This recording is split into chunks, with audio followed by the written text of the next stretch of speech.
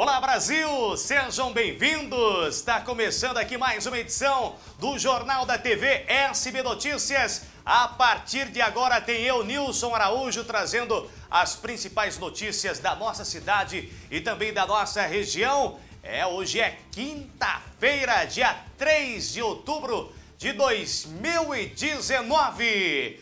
Olha, hoje você vai acompanhar aqui no Jornal da TV SB Notícias o Ministério Público Estadual denunciou à Justiça o prefeito de Nova Odessa, o Bill do PSDB. É, o, o porquê você vai acompanhar já já. E mais, veja aí, ó, você vai acompanhar a alteração de trânsito que teve lá no Molon, aqui em Santa Bárbara do Oeste. Essas e muitas outras notícias no jornal na edição de hoje. A gente vai para um breve intervalo comercial. Eu volto já já, é bem rápido, é rapidinho, é 30 segundos. Fica comigo! A mais ouvida. A que mais toca. A sua rádio.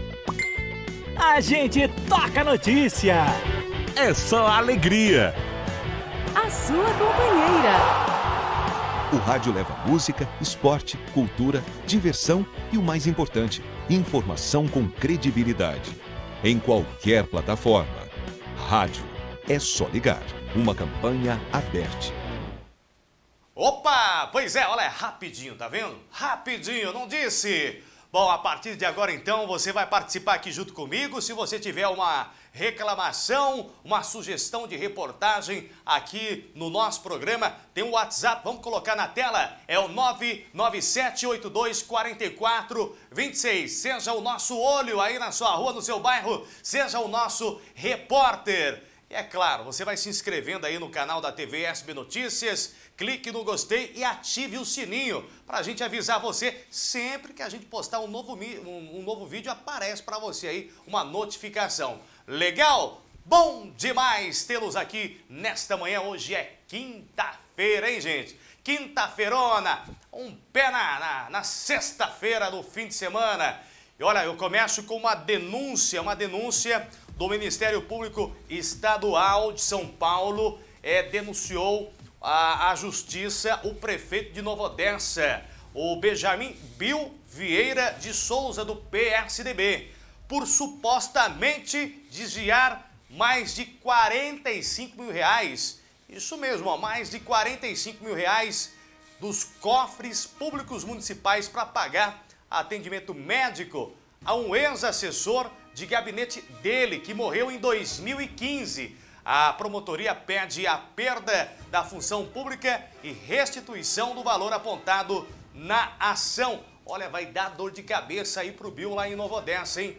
O advogado Gabriel é, Machado, que representa aí o prefeito lá de Nova Odessa, nega que haja irregularidade e afirma que, mesmo assim, veja aí, ele negou é, que haja irregularidades. Mas mesmo assim, o prefeito já devolveu o valor apontado na ação. Seria aí de 45 mil reais e uns quebrados.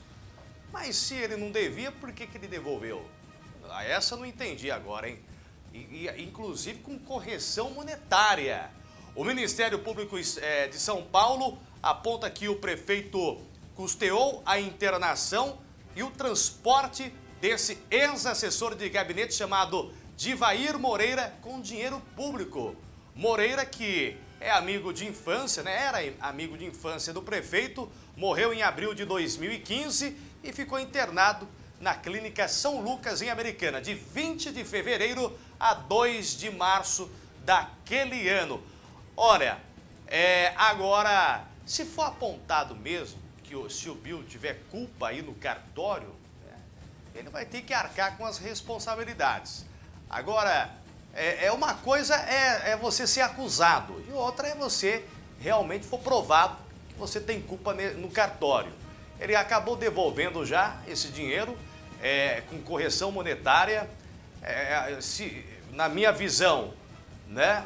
Acho que na visão de qualquer um, se você não deve, você não teme. E outra, se você não deve, você não paga acabou fazendo essa devolução. Eu não sei não, aí ficou um clima meio estranho no ar aí. É, não sei se ele fez a coisa certa.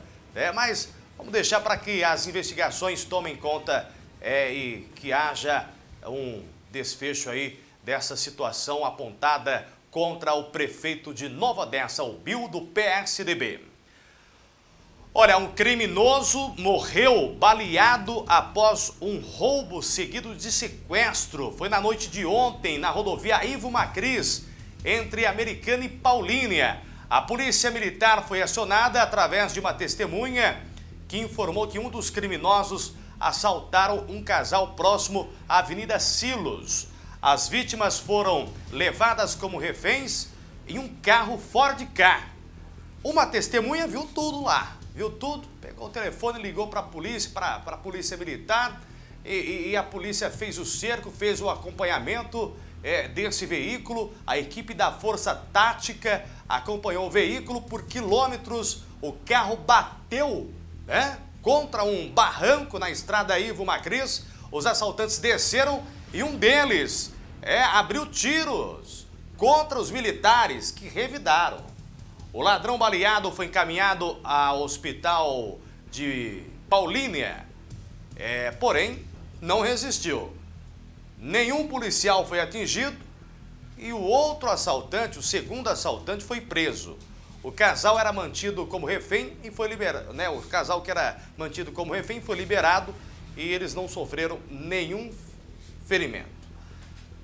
Olha, é, deixa eu falar para você aqui uma coisa importante. Está chegando o Dia das Crianças, não é verdade? Isso! E o Dia das Crianças tem que ser com cachorro quente, tem que ser com festa, tem que ser com bala, pirulito, não é verdade? E olha, a Donatello Pães e Bolos, que é uma loja de fábrica, tem o melhor para você. Isso mesmo, vá até a Donatello lá na rua Dinamarca, que é a loja de fábrica e prestigie, porque tem pão para cachorro quente por apenas 45 centavos a unidade, a preço de atacado, a preço de fábrica. Veja aí, ó. É, pessoal compra lá o tempo todo porque é barato, tem qualidade. Pão caseirinho, tem pão de milhinho, tem também a, as delícias, né? Que são os as bolachinhas, as torradinhas também, os biscoitos amanteigados Donatello, loja de fábrica. Gente, não perca, olha aí, ó, os amanteigados, agora chegando a época de Natal, panetones, panetones de chocolate, de frutas, olha aí, ó, com preço de fábrica, na loja 1, Rua Dinamarca, 2133, Jardim Europa. Loja 2 fica na Rua Maranhão, 463, na Praia Azul, em Americana. Loja 3, na Prudente de Moraes, 210 no centro de Rio das Pedras. Telefone 3457-1756. É a Donatello Pães e Bolos, loja de fábrica. Bom, fica comigo que eu volto. Ah, não tem intervalo agora? Então vamos fazer o seguinte. Eu vou dar essa notícia. Antes, eu, deixa eu ver se o pessoal está participando aqui junto com a gente. É, aqui através do, do do, do, do, da nossa live ao vivo. Você que nos acompanha, é, se tiver aí uma, uma sugestão de reportagem, pode enviar aqui pra gente. Fica à vontade, viu? Fica à vontade. É, o Daniel, alô Daniel, bom dia para você, Daniel. Elton Santos também, obrigado a você que está nos acompanhando.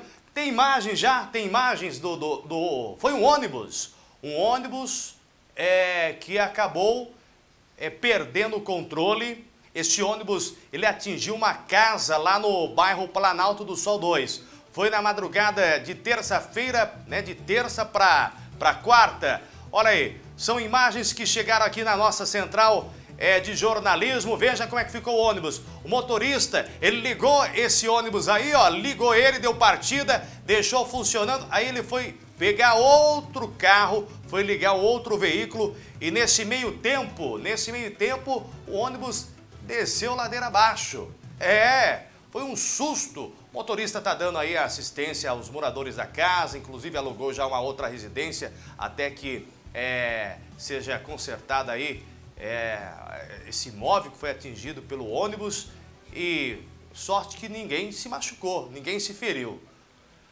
Olha, falando de motorista, atenção motoristas que passam ali pelas ruas do Chumbo e Rua do Alumínio, no bairro Molon aqui em Santa Bárbara. Olha, teve alteração de trânsito ali, ó. A gente tem imagens lá da Rua do Alumínio. Para quem vem, agora para quem vem do sentido da SP 304 para acessar o bairro Molon, na Rua do Alumínio, agora é, é o sentido único de direção, viu gente? E lá na Rua do Chumbo, que é paralela à Avenida Iacanga, para quem vem, né, para quem vai lá do sentido SP 304, também sentido único ali perto da, da igreja é, católica lá, ó, do Molon, então agora sentido único. Alteração de trânsito, alerta aí para os motoristas é que passam aí por essas duas vias ali no bairro Molon, tá? Então, atenção redobrada, alteração de trânsito aí nesta localidade. É, convenhamos que seja para melhorar aí o fluxo de veículos, porque ali a a, a essas duas ruas que uh, nós citamos, que é a Rua do Chumbo e a do, do Alumínio, essas duas ruas são paralelas ali à Avenida Iacanga, que já é com a divisa de Americana. É o horário de pico de manhã e à tarde, olha, o que passa de veículos ali é brincadeira.